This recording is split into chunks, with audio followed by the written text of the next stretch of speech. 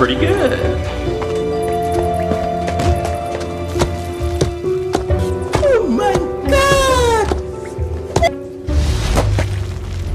Oh they ask you how you are, you just have to say that you're fine when you're not really fine, but you just can't get into it because they would never understand.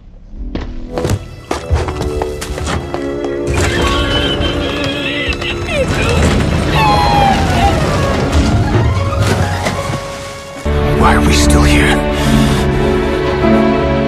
Just to suffer?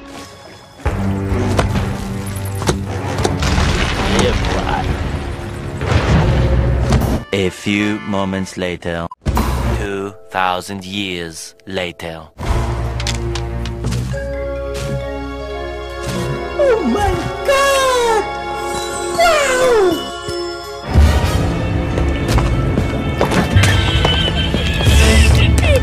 Wow! Nope.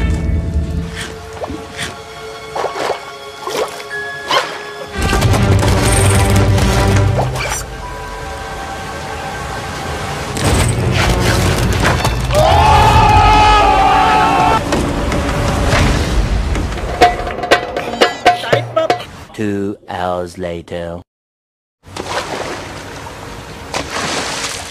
Why are we still here? Just to suffer?